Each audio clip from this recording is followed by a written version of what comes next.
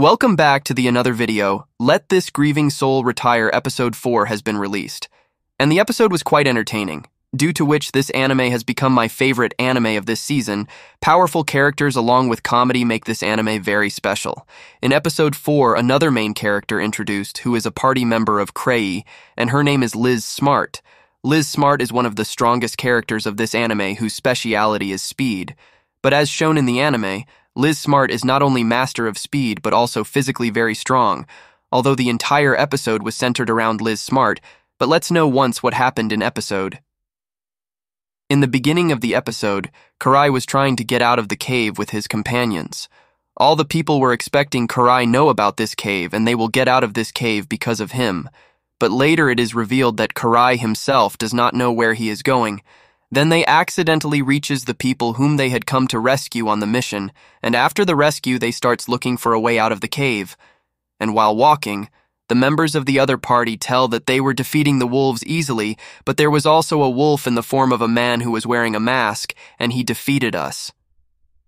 As soon as these people talked about that humanoid wolf, the same wolf wearing a mask reaches there, and as soon as he is about to attack, another hunter wearing a mask comes behind him.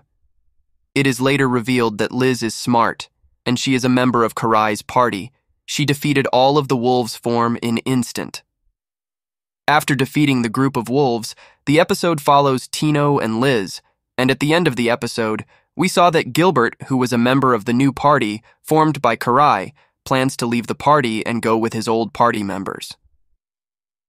Now let's know what is going to happen in episode 5. The title of episode 5 is I want to leave everything to Ark. Now you must be wondering who is Ark. So let's know about Ark.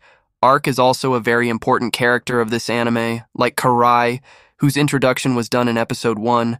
Ark's full name is Ark Rodin, who is the leader of a party named Ark Brave, and his party is the strongest after Karai's party. So what is the reason that Karai is talking about Ark in the title of this episode? Actually, Karai is not the kind of character who is always ready to fight whereas Karai's character is such that he tries to run away from every fight. After reaching the headquarters, he comes to know that one of the road of the kingdom has been blocked, and hunters that were defending have been killed there.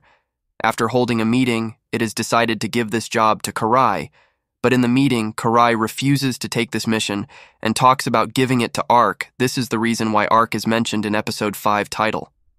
Beside of this, some more new characters will be introduced in episode 5 in which a villainous character also will be introduced who has also been shown in the preview.